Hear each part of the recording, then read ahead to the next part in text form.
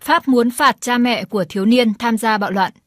Tổng thống Pháp Macron đề xuất phạt bố mẹ của những trẻ vị thành niên bị bắt vì tham gia phá hoại và cướp bóc trong các cuộc bạo loạn. Bộ Tư pháp Pháp hôm ngày 3 tháng 7 cho biết gần 4.000 người đã bị bắt từ hôm 30 tháng 6 vì tham gia bạo loạn ở nhiều thành phố. Trong số đó có hơn 1.200 nghi phạm là trẻ vị thành niên bị bắt quả tang có hành vi phá hoại, cướp bóc.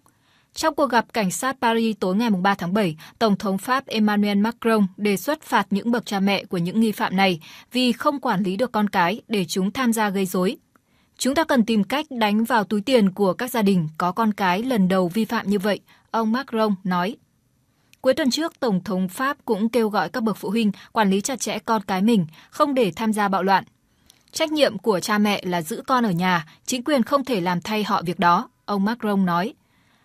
Bộ trưởng Tư pháp Pháp Eric Dupont Moretti cũng đưa ra thông điệp tương tự và cảnh báo các bậc cha mẹ có thể bị phạt nếu không xuất hiện trước tòa cùng con. Họ cũng có thể phải bồi thường những thiệt hại mà con mình gây ra. Luật pháp của Pháp cho phép phạt tiền tới 32.700 USD và phạt tù tối đa 2 năm với cha mẹ không tuân thủ nghĩa vụ pháp lý, làm ảnh hưởng tới sức khỏe, an toàn, đạo đức và giáo dục của con em mình. Sau khi sĩ quan Florian M.